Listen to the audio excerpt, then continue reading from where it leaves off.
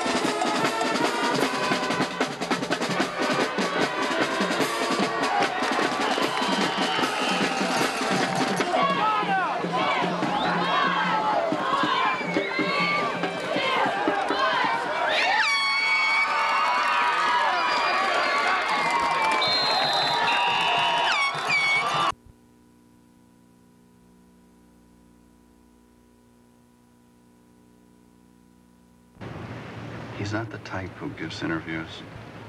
It's not his style. My God, the money that man must be making.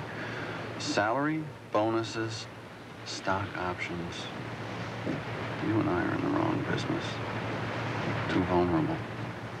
Too dependent on a handful of clients. Foreign ownership.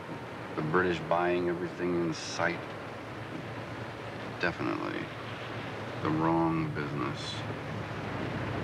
Talk about the agency as if it was against the ropes. A shot in the country. Maybe not in billing, but certainly in quality. Today we are. But this sort of attention doesn't last. They'll stop calling for interviews pretty soon. Probably sooner than we think. Curve's not a curve without a downside.